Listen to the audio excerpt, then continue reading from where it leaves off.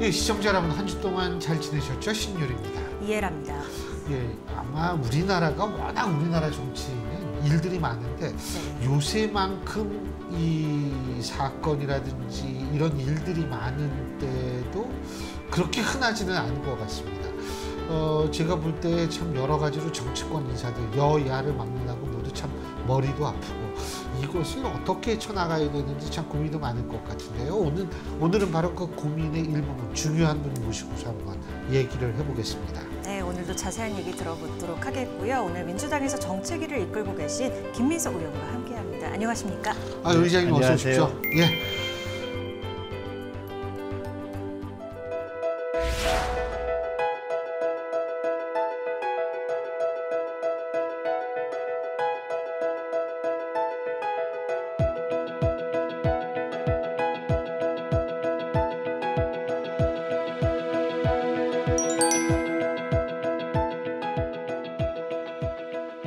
아 요새 뭐 일들이 많아가지고 바쁘시겠어요? 지금 말씀 조금 들으면서 생각했는데 일은 항상 많았던 것 같아요. 맞아요. 근데 요새 아유 저 제가 봐도 일단은 지금 민주당 송영길 전 대표 문제로 여러 가지로 예. 적었는데 제가 좀 여쭤보고 싶은 게 지금 송영길 전 대표가 들어왔어요. 이것이 지금 문제 해결의 시작일까요? 아니면 어 그래도 이 문제 해결 문제는 계속 좀 굴러갈까요? 어떻게? 시작이죠. 해결에 어떤 실마리가 있다고 보시는 거예요? 아, 그거 저희가 잘 알 수는 없죠. 예. 왜냐하면 뭐 검찰 조사가 진행돼야 되는 거고 예. 하기 때문에 일단은 본인이 들어와서 뭐 수사 받겠다 언제든 출두하겠다 한 것으로 시작이 되는 거니까요. 예. 이 탈당 관련해서 지금 송 전 대표 탈당 관련해서요. 뭐 민영배 의원이나 또 윤미향 의원을 떠올리는 경우도 있는 것 같아요. 그러니까 어떤 얘기냐면 뭐 꼼수 탈당 아니냐라는 얘기를 하기도 하거든요. 글쎄요. 그렇게 비교하기도 뭐 애매하고 그냥 어쨌든 송 대표 건만 놓고 본다면은 송 대표가 전에도 이제 뭔가 어떤 의혹이 생기거나 이럴 때 탈당해서 증명하고 돌아와라. 어, 그 부동산 의혹 발생했을 때 그러니까요. 예. 뭐 그 케이스를 그대로 일단은 적용한 거니까요. 네. 그 지금 뭐 이 일각에서는 일각에서는 당의 자체 조사가 필요하다. 아 그리고 당에서 이 연루된 의혹을 받는 의원들의 어떤 그 조치. 뭐 탈당이라든지 이런 조치가 필요하다. 근데 당은 지금 조사 안 하겠다는 거 아니에요? 저희도 논의를 많이 했는데요. 예. 그거를 어떻게 해야 되냐 고민하고 있는데 국민의힘에서 그거 자체 조사하면 셀프 조사다고 막 때리더라고요. 아 이게 어차피 해도 뭐 수사권을 가지고 있는 것도 아니고 한계가 있겠구나 하는 생각을 하- 하게 된 면이 많이 있어요. 그리고 실제로 어 뭐 이게 어떻게 돼서 누가 어떻게 되는지 사실 알 수 없기 때문에 어 좀 한계적인 면이 있었죠. 그렇죠. 근데 이제 일각에서는 이게 탈당 조치나 뭐 이런 거를 조사 결과 이렇게 하게 되면 만에 하나 또다 또다시 이재명 대표에 대한 체포동의안이 국회로 넘어왔을 경우에 이 탈당 권유를 받거나 이런 의원들이 돌았을 가능성이 있기 때문에 야 이게 조사를 안 하는 거 아니냐 이런 얘기도 있던데 그거 글쎄요, 어떻게 보세요? 그거는 그냥 너무 과대하게 갖다 붙이는 거고요. 예. 이재명 대표 케이스는 당에서 이미 정치 탄압 미국 기획 수사라고 정리가 돼버린 거고 검찰이 뭐 뾰족한 증거도 못 내놓고 있는 상황이어서 그 문제를 여기다 붙이는 건 뭐 별로 그렇게 큰 의미는 없는 것 같습니다. 음. 그 지금 대의원제 폐지도 일부에서는 얘기가 나오던데요.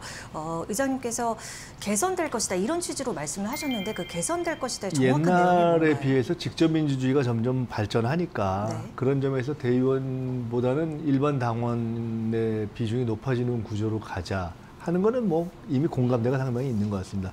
폐지 그건 아직 조금 뭐 이르다. 왜냐면 그 또한 의미가 있으니까요. 잘 아시겠지만 정당이라는 게 또 대의원이라는 의미가 있잖아요. 그렇죠. 예. 근데 그 차라리 말이에요. 여론조 여론의 반영 비율을 더 높이면 그 사실 국민의힘은 그거 없앴잖아요. 없애가지고 이 지금 거의 실현 당번제라는 얘기가 나오던데. 근데 예? 국민의힘이 원래는 저 여론 말고 당원 중심으로 한다고 막 자차 자화자찬을 하다가 갑자기 또 그거 없 아이가 없애고 또뭐 백- 여- 당원 100%. 네. 당원으로 가고 이게 이제 왔다 갔다 한- 하는데 큰 틀에서 보면은 이게 미국식이냐 유럽식이냐 다르긴 하지만 당원이 주권이 강화되는 것이 맞죠. 근데 그렇다고 해서 또 그럼 국민 여론은 없애야 되는 거냐? 이래서 늘 결국은 하다 보면 그렇죠. 오 5대 5로 우리가 수렴이 되는 경향이 있어서 그거는 그 선에서 적당히 이렇게 조화되는 것이 맞고 다만 과거에 비해서 당원 중에서도 대의원 이 비중은 좀 적어지는 것이 좋지 않냐 이거는 대부분 공감대가 있는 것 같습니다. 예. 그러니까 이게 한 뭐 30% 이상 여론을 반영 비율을 하면 어 뭐 이 아직 의혹 단계에서 우리가 어떻게 얘기할 수는 없지만 지금 국민의힘과 같은 사태나 민주당과 같은 의혹이 제기되지는 않지 않았을까 이런 생각이 들어서 여쭤본 거거든요. 전체적으로 이제 앞으로 어느 방향으로 가야 되느냐 그것은 하여간 당원들의 비중이 높아져가는 것이 자연스럽겠죠. 아, 예, 알겠습니다. 송전 대표가 또 이제 86 운동권의 또 대표 주자이기도 하기 때문에 일각에서는 이 386, 586 세대에 대해서 어, 얘기를 하고 있는 것 같아요. 용태론도 다시금 거론이 되고 있는 상황인 것 같고요. 그거는 과거부터 나왔던 거고요. 네. 어차피 86들 중에 대표 선수들 중에 이렇게 용태가 시작된 거고 자연스럽게 그건 진행되면 된다고 봅니다. 아, 김 의장님도 저 586의 대표 주자 중에 한 분인데 뭐 자연스럽게 뭐 언젠가는 되겠죠. 근데 이제 가장 중요한 건 586이 갖고 있는 상징성, 민주당 내에 있어서의 의미 이러한 것들과 직결이 되는 것 아닌가. 그래서 그러한 것들이 좀 이번에 타격을 받는 것 아닌가 이런 얘기를 하는데. 저는 뭐 18년 만에 돌아와서 이번에 새로 돌아왔는데 그래도 나가라 뭐 이러면 나가야 되겠죠. 근데 이제 정치는? 기본적으로는 저는 과거부터 이렇게 시대 흐름과 시대 정신을 반영하고 또 실력에 따라서 잘 할 수 있는 사람이 계속 성장하고 또 그렇지 않으면 또 못하고 그러니까 나이 문제는 별로 아니라고 보고요. 왜냐하면 586보다 더 연배가 있는 분들도 그렇죠. 계시고 계시죠. 하기 때문에 그런 문제는 뭐 이제 그럼에도 불구하고 송영길 우상호 이렇게 어, 이미 이제 다음에 출마 안 하겠다 이런 얘기를 한 분들이 계시잖아요. 예. 그런 흐름들은 또 자연스럽게 이어질 수 있다고 봅니다. 음, 그런 흐름이라는 게 이제 뭐 좀 나가는 분도 생기고 이렇게 된다. 이 근데 이제 그? 말씀은 아까 말씀처럼 오- 예를 들어 오영환 의원 같은 경우도 이번에 불출마 선언을 했잖아요. 네, 예. 586은 아니죠. 그렇죠. 정치적 아 그러니까. 정치라는 거를 여러 가지 전체 흐름 속에서 여러 가지 방식으로 교체가 이루어지고 그러는 것인데 무슨 586이라는 하나만 놓고 보면은 뭐 의미도 있을 수 있지만 조금 전체를 보지 못하는 프레임이 될 수 있죠. 그렇게 따지면 예를 들어 국민의힘으로 놓고 보면 그럼 거기서는 586이 누가 나가야 되냐 이런 것이 있을 그렇죠. 수 있기 거기도 때문에 있죠. 예. 이런 원희룡 장관이나 이런 분 예. 있죠. 음. 시대 정신 잠깐 말씀하셨는데 그 시대 정신에 지금 586이 부합하거나 혹은 시대 정신이 있었을 때 586이 잘 변신이 변신하고 있다라고 평가하십니까? 음, 그런 질문은 이제 586에게 던지는 것이 아니라 정치권 전체에 던지는 것이 좋다고 봅니다. 예. 정치권 전체에 누구도 예. 시대 정신에 맞추려는 노력을 하지 못하면 살아남기 어려운 것이기 때문에요. 예. 그거는 586보다 나이가 많던 적던 아하. 어, 내가 시대 정신에 맞춰서 변하고 노력하고 있는가 이런 질문을 스스로에게 던지고 국민도 그런 각도에서 보시면 음. 되지 않을까 봅니다. 알겠습니다. 일각에서는 신당 창당 얘기도 나오는데요. 그리고 이제 뭐 김종인 전 위원장이라든지 거론이 되고 있는데 이와 관련해서는 의견 어떠십니까? 현재로서 크게 관심을 갖고 있지는 않습니다. 관심 있다라는 분은 아직까지는 못 봤어요. 정치권에서. 네. 그럼 왜 그렇다고 보세요? 국민들이 관심이 크게 없지 않은가 싶습니다. 아, 아니 근데 지금 여론조사를 보면 지금 지난번 한국갤럽 여론조사 1,003명을 대상으로 이, 어, 지난주 금요일에 발표된 여론조사를 보면은 어, 지금 국민의힘은 1% 포인트 상승하고 민주당은 4% 포인트 빠졌어요 지난주 대비. 그런데 이론적으로 따지면 민주당이 빠지면 국민의힘이 반세익을 받아야 되는데 그렇지도 않고 국민의힘이 그 실언 릴레이 때문에 빠졌을 때 민주당이 또 받으면 그것도 아니고 이 얘기는 결국 뭐냐면 양당제에 둘 다 거기서 거기라는 생각을 국민들이 하고 있다라는 가능성이 있다라는 거고 그렇다면 제3당 출연에 대해서 또 나름대로 긍정적으로 생각할 법도 한데 사실은 그것도 아니라는 얘기가 많아요. 그 이유가 뭐라고 보세요? 근데 뭐 저보다 훨씬 잘 아시지만은 예. 과거에 뭐 특정인을 말씀드려서 그렇지만 예를 들어 박찬종 전 의원님 아, 예, 예, 벌써 예, 예. 10년, 20년, 30년 전부터 그런 현상은 있잖아요. 예, 예. 주요 정당들이 옥신각신하면 정하지 못한 그렇죠. 음, 층이 많이 있잖아요. 그렇지만 그 마음이 소위 제3 세력을 자처하는 분들에게 가지는 잘 않더라고요. 보면은 왜냐하면 제3이냐 아니냐가 중요한 게 아니라 그만큼 내 마음을 줄만한 대한 세력이냐 아니냐가 중요한 거지 않습니까? 예. 그러니까 나는 어, 이쪽 이쪽이 아, 아닙니다라는 것이 아니라 나는 이쪽 이쪽보다 다른 어떤 대안입니다라고 이야기해야 마음이 가는 것인데 그런 점에서 아, 저 사람들이 대안이고 저 사람들에게 정치와 정권을 맡길만 하다. 이제 그런 부분이 부상하면 관심이 가겠지만은 예. 현재까지는 이제 선거 때를 앞두고서 그런 경우도 이제 많이 생기잖아요. 현재까지는 별로 그렇게 성공해 본 케이스가 없기도 없죠. 하고 최근 상황에서도 국민들이 이제 그렇게 주장하는 목소리에 이렇게 눈을 주고 있는 것 같지는 음. 않다 이렇게 보이는 거죠. 예. 제가 김종인 전 위원장님 잠깐 여쭤봤었는데 힘을 좀 보태실 거라고 보세요? 어떠세요? 누구요? 김종인, 김- 김종인 전 그거야. 그분 마음이지 뭐 제가 굳이 뭐 별로 큰 관심이 없기 때문에. 선거할까? 아니 그분이 많이 좀 이렇게 하면 좀 나아질까요? 어떻게 보세요? 그게 뭐 그래서 된 시대가 이미 지났잖아요. 음, 음, 음. 그 알겠습니다. 하여간 네. 뭐 요새 하도 신당 신당 그러고 뭐 수도권 30석 금태섭 전 의원은 그렇게 얘기를 하고 어제 어, 얼마 전에 또 뭐 그거보다 더 많이 사 최소한을 얘기한 거라 예, 그랬던가 예. 뭐 이런 식으로 지금 나오고 있어서 그런데 어 어쨌든 뭐 지금 앞으로 어떻게 될지 좀 두고 봐야 되겠지만 아, 그러고 참 그 민주당 내에 지금 친명 비명 간에 좀 이렇게 그 이 갈등이라고 얘기를 하는 그러한 것들. 전 사실 개파의 존재 당연하다고 보거든요. 정당 내에서 어떻게 한 목소리를 냅니까 정당이라고. 그런데 어, 지금 이 송영길 전 대표를 중심으로 한 의혹 때문에 이게 증폭될 가능성은 없다고 보십니까? 정당이라면은 있는 다양한 목소리 예.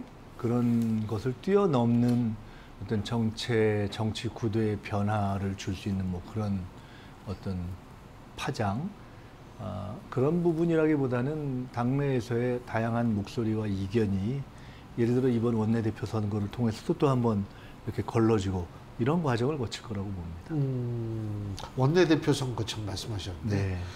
거기에서도 이제 근데 일각 보도에 따르면 친명과 범친명의 대결구도라고 그러더라고요. 그러니까 어, 쉽게 해서 비명 계통계는 없다라는 분석도 있는데 동의하세요? 그런가요?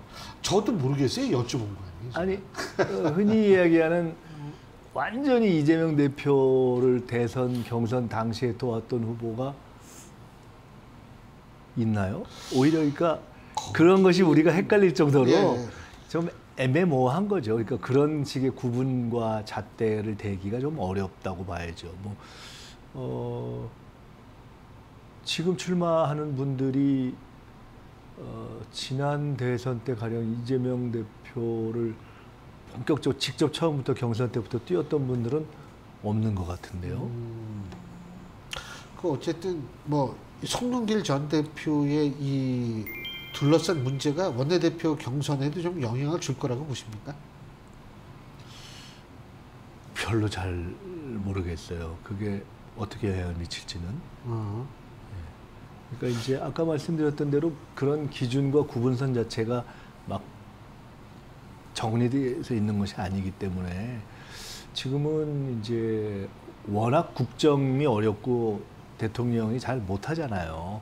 민주당도 많이 더 잘해야 되지만은 그렇기 때문에 그거를 잘 견제하고 어, 정책을 잘 끌어가고 총선을 치르는데 누가 더 역량이 있는가 중심으로 보는 것 같습니다. 그러니까 지금 예를 들어 후보 간의 구분선 자체가 막 개파 구분선으로 갈라지는 그런 대리전이다. 어. 그것 자체가 잘 안 되고 있기 예. 때문에 예.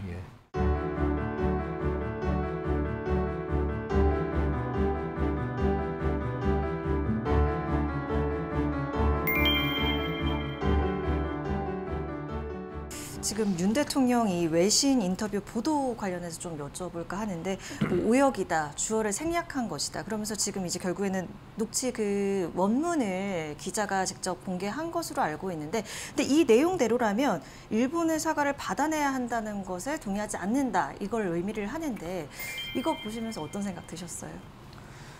어, 대통령이 이제 최대의 리스크가 된 것 같아요 우리나라에 윤석열 리스크가 제가 보는 대한민국 최대의 리스크가 된 거죠. 이상한 얘기를 좀 안 했으면 좋겠어요. 이상한 말씀을. 그러니까 뭐 바이든 날리면 이거는 어 잘못 들었다 이렇게 어떻게 좀 해볼 수라도 있었을 텐데 이거는 뭐 워낙 번역이 뭐 그거 한게 뭐니까 모든 언론이 다 똑같이 썼잖아요. 그러니까 너무 궁색한 변명인데 뭐 글쎄 뭐 지난번에는 듣기 테스트를 해보자고 할 수라도 있었겠지만 이건 뭐 토플 테스트를 할 일도 아니고 너무 쉬운 단어 단어와 쉬운 문장이잖아요. 그러니까 지금 대통령이- 알고 있습니다. 그 미, 국 쪽에서 네. 그 미국 언론이 그 아니, 원문을 제가 읽어봤어요. full text하고 네, 네. 이 녹음 그거를 네. 다 공개를 한 걸로 알고 있어요. 아 이거 저도 어제 일단은 언론에 나온 기사를 봤어요. 제가 어제 영문 기사를 봤거든요. 근데 저는 그걸 보면서 아 그냥 이 양반은 확신이구나. 아, 어떤 확신이요?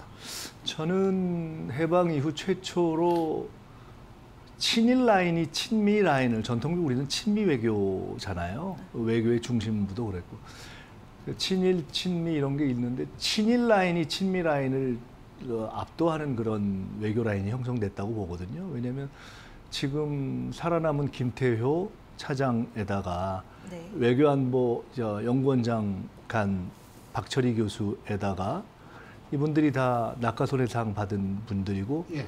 대통령의 아버지가 1호 국비장학생이잖아요.